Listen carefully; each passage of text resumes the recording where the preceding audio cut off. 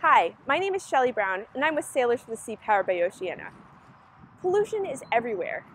Maybe you've participated in a beach cleanup, or while walking in your neighborhood, you've noticed plastic bottles, aluminum cans, plastic straws, plastic bags, leftover food, takeout containers, food wrappers, everything just polluting our earth. Have you ever wondered what happens to those items when they sit out in the environment? Will they disappear quickly or take a really long time to break down? What will they eventually turn into? With our activity, How Long Till It's Gone, you'll find out the answers to these questions. You just need the following items. First, lay out the string to mimic a timeline. Have the kids place the items they think will degrade the fastest starting on the left to the slowest on the right. Paper towels break down the quickest, followed by newspaper, cardboard, and then the orange peel. Plastic bags take about 10 to 20 years to degrade, followed by the tin can and then the plastic straw.